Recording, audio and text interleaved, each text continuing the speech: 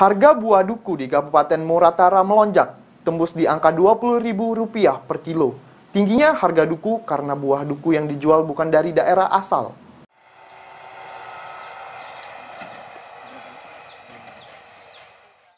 Harga buah duku di Kabupaten Muratara melonjak tembus Rp20.000 per kilogram. Harga buah tahunan ini jauh lebih tinggi dibandingkan dengan tahun sebelumnya yang hanya Rp10.000 per kilogram. Penyebab tingginya harga duku karena buah duku yang dijual warga Muratara bukanlah dari daerah setempat, melainkan duku dari daerah tetangga yaitu Kabupaten Musirawas. Penjual duku mengatakan harga duku yang dibeli dari petani Musirawas sebesar 15.000 per kilo, lalu dijual lagi dengan harga 20.000 per kilonya. Kami jual apa oh, ini? Penjualan jual, jual, jual, jual, jual, jual. Dari jual 20. 20 kalau beli pak? kalau kami nyampaikannya 15 kalau biasanya harganya sebelum sebelumnya berapa pak? Harga menurut duku. pasaran dia menurut pasarannya.